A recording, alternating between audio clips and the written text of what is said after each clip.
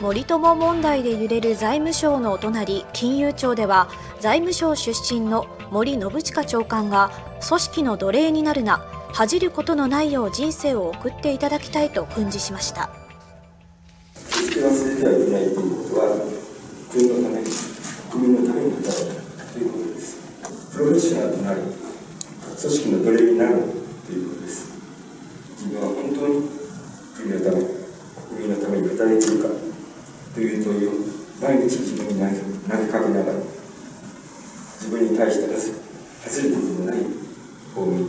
人生を送っていただきたいと思います。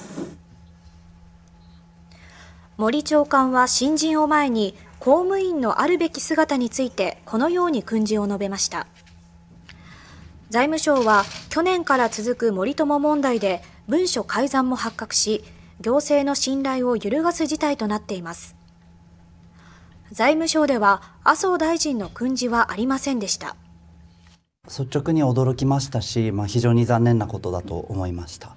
二度と起こさないように誠実,、えー、誠実に職務に当たっていくっていうことを、えー、胸に頑張りたいと思います。